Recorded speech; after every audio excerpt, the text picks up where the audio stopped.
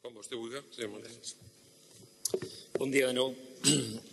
Se sumem també a l'agraïment al personal que s'exua la vida en la prevenció i extinció d'incendis i especialment saludem a la família, companys i amics del voluntari que ha eh, donat la seva vida per defensar el patrimoni natural valencià. Señor presidente, desde que se aprobó por ley eh, la ley forestal, se aprobó por estas Cortes el 9 de diciembre del 93, la sociedad valenciana ha evolucionado también sus demandas, sus prioridades ambientales. Ha cambiado el marco legislativo comunitario, ha cambiado la legislación estatal y han aparecido una nueva conciencia sobre las realidades y riesgos medioambientales a los que hemos de hacer frente eh, de manera colectiva. Pero también esa, hacer frente a esa realidad supone entender, analizar, comprender y trabajar desde la lógica de lo que es nuestra realidad desde el punto de vista climático, económico, demográfico y social. Sobre todo hay que entender también lo que ha sido el abandono secular del medio rural, un mal entendimiento del concepto de progreso que ha llevado al abandono eh, del medio rural, al despoblamiento, pero también a un abandono político. Yo creo, nosotros creemos en Podemos Podem, que no ha habido unas políticas adecuadas y que, además, las que se han diseñado no han implicado a la población, ni mucho menos a las administraciones locales y a los actores económicos presentes en el medio rural. Lamentablemente, las administraciones locales, los municipios, han sido las grandes olvidadas de la ley del 93 y no ha habido durante más de 20 años una política destinada a sumar a las corporaciones locales a las políticas de prevención y de gestión del medio forestal.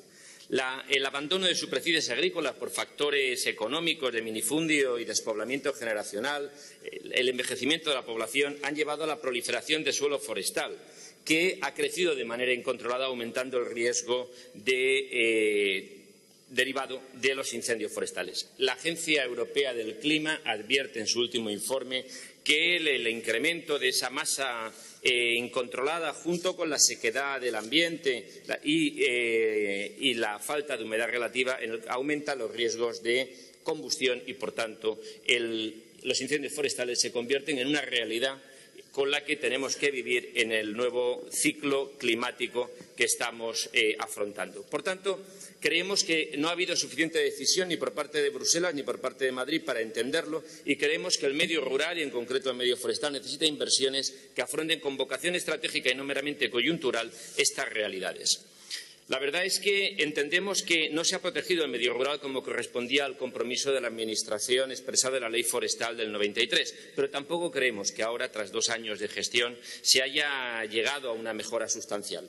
Creemos que ha habido una deficiente gestión que, por ejemplo, se pone de manifiesto en el que las estrategias de desarrollo local, como el caso de los líderes, aún que los que nos jugamos 27 millones de euros, aún no están eh, puestos en funcionamiento y esa estrategia termina en el 2020 y podremos justificar como máximo hasta el 2022. Y ahí también hay dinero que podría llegar a la prevención eh, y, al trabajo en la masa forestal. Creemos que es necesario, es imprescindible un nuevo marco legal.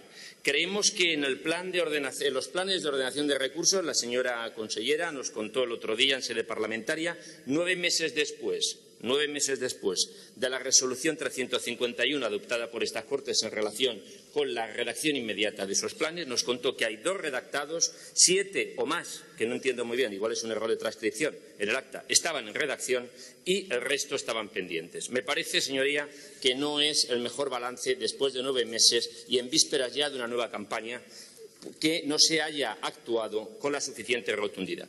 Me parece que eh, debería, además, de haber políticas concretas, no, meramente convocatorias de ayudas y de subvenciones a las que muchas veces los ayuntamientos no pueden concurrir por falta incluso de técnicos que redacten los proyectos. Es por eso que Podemos Podem ha tomado la iniciativa para reabrir este debate y el cambio del marco legislativo y el pasado 25 de mayo registramos una proposición de ley de modificación de la Ley Forestal Valenciana de 1993. Señor presidente, hay políticas concretas que se podrían estar haciendo. La ley del 93 es insuficiente, pero no se ha aplicado en 20 años y no queremos que siga dos años más sin aplicar. Mientras se debate el nuevo marco legislativo, hay políticas y acciones que abordar. Por tanto, señor presidente, no más dilaciones, no más parches, no más decisiones precipitadas, no más improvisaciones ni grandes declaraciones. Queremos fechas, queremos compromisos concretos, queremos políticas concretas, acciones y presupuesto para defender el patrimonio forestal valenciano. Gracias. Moltes gràcies, senyor Montiel. Eh, totes coneixeu, hi ha moltes, però hi ha dos concretament que veiem amb preocupació. Una s'està extingint i l'altra no arriba al País Valencià, malgrat és una mesura que ja està molt estesa en països com Estats Units o Austràlia. El col·lectiu de, de bombers forestals compta amb, amb gent tan motivada que fins i tot es paguen durant les seues vacances viatges als Estats Units per anar a aprendre aquesta tècnica que és la de les cremes prescrites i el foc tècnic.